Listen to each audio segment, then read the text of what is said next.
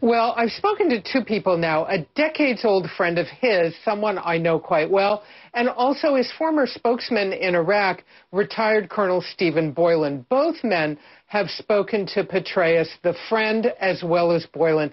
And Petraeus is pretty much saying the same thing that he, Petraeus, is devastated by what he's done, the pain he's caused his family, the CIA, and the U.S. military, all the troops who served with him. But, you know, let's face it, the person who may be in the most pain here may be Mrs. Holly Petraeus. She is said by General Petraeus to be furious. You also, Barbara, you know, have, have learned more about the friend, uh, from about this friend, about the timing of this whole affair and what was going on, some of the emotion behind it. What are you learning?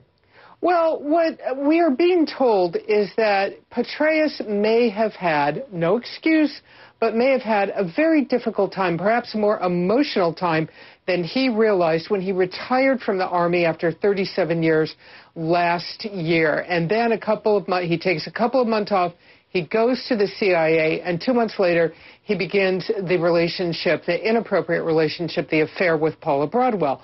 What both of the sources we talked to have said is Petraeus is reflecting on the emotion of having left the Army, that sheltered, taken care of existence where he had camaraderie, he had friends, he could talk to people, and he goes to the high level isolation of the CIA, where basically he doesn't have anybody to talk to. He's the outsider coming in, and he is the spy master. He is supposed to be the expert at keeping his cards close to his vest and keeping his mouth shut, not talking to anybody about what he feels. Not an excuse for what he did, but he is reflecting on this, and he has told these people that perhaps hit, leaving the Army hit him a lot harder than he realized at the time. And the subject of Benghazi also came up. What are you learning there? Well, we are told that Petraeus was looking forward to testifying on Capitol Hill, that that is what he is telling the people who have talked to him, and they are telling us in turn that he wanted to come to the Hill, he wanted to testify on Benghazi. There was uh, surveillance tape that he would have wanted, if he could, to have shown that would have showed what was going on, what the reaction was by various people there. But but that's you know it's not going to be Petraeus now.